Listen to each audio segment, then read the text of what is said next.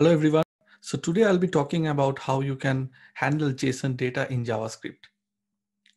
JSON, which is known as JavaScript Object Notation, is basically a way to represent data through text. It exists as a string and it will support all the basic data types that are supported by a standard JavaScript object. There are two methods which I'll be showing or discussing today in this video. One is called the parse method and another is called the stringify method quick introduction about both the methods. So parse is a method which is used to deserialize or convert a JSON string into a JavaScript object. So this is highly used while accessing some external API or the server response. And this is basically when the response will come, we'll convert the response to a JavaScript object and then access the elements of the response. So that's a parse. The stringify method is used to serialize or convert a JavaScript object into a JSON string. And this is used when we are basically transferring data to an external API or server. So parse is basically converting a JSON string to a JavaScript object, whereas stringify is converting a JavaScript object to a JSON string.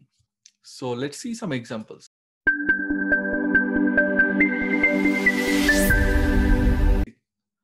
As you can see, we'll be talking about two methods, parse and stringify, uh, to show you how we can handle JSON data using these two methods. So first we'll be talking about parse method.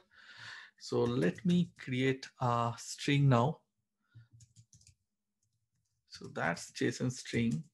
And I'm using this one to make sure that I can use multi-line.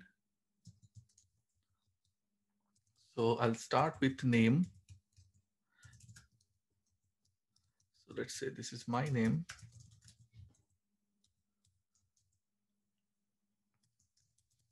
Country, and let's say Canada. Uh, my favorite cars. And let's say this time we'll have some array here.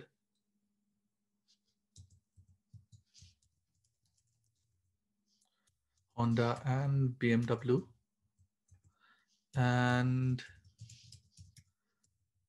employed. True. So that's the JSON string that I have.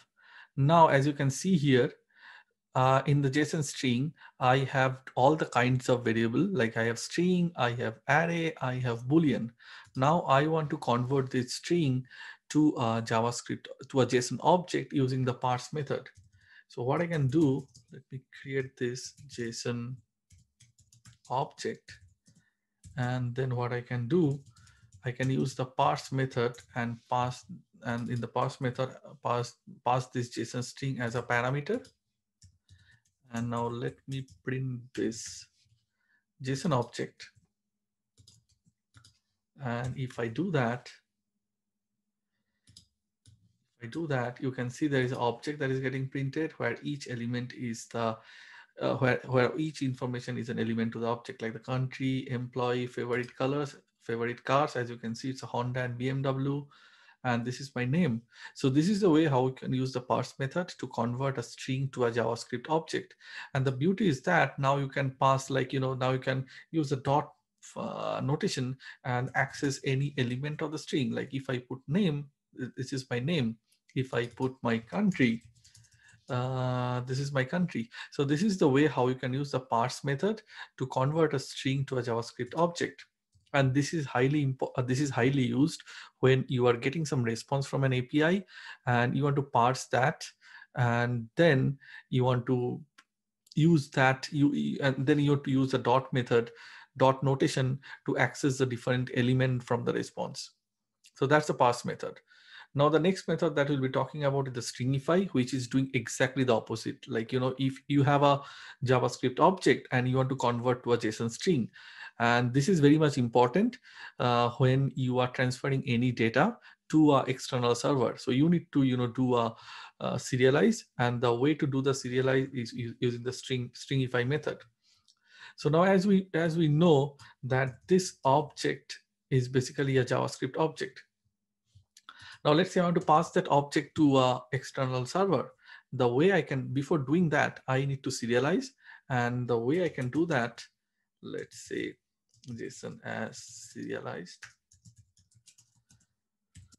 I can use the serialize method. Uh, I can use the stringify method and then pass this entire object. And if I con to a console.log now and print this serialized one, I can see that now my entire object is converted to a string. So this is this is required when you are passing or you are transferring any object over the network like to external server. I hope you like this video. Please share and hit the like icon and also please subscribe to my channel to get update about all my upcoming videos. Till then, thank you. Bye-bye.